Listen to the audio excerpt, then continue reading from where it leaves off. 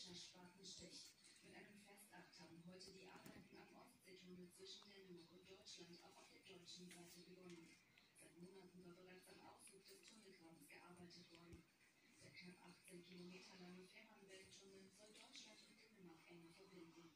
2029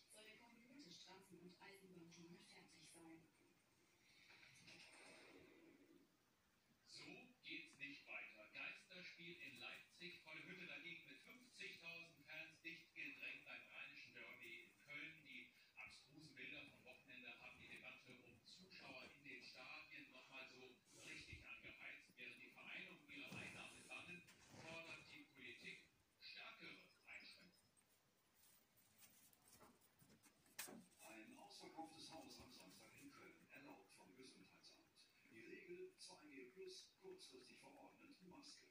eine Genehmigung bekommen, am Donnerstag 50.000. Äh, ich wurde dann vier Stunden vor Spielbeginn informiert, dass es eine Maskenpflicht am Platz gab. Über Social Media und Stadiondurchsagen gab der Club die Information sofort an die Zuschauer weiter. Worin sich einige vorbildlich verhüten, viele aber nicht. Es gab intensive Absprachen mit dem Gesundheitsamt 2G, geimpft und genesen entscheidend, plus Maske. Wir haben gesehen, dass viele die Maske nicht getragen haben. So geht das nicht. Das sind Bilder, die wir nicht noch einmal wollen und wir werden daraus die Konsequenz ziehen, deutliche Reduktionen umzusetzen. Reagiert hat bereits die Landesregierung in Sachsen. RB musste gegen Leverkusen vor ihrem Rennen spielen.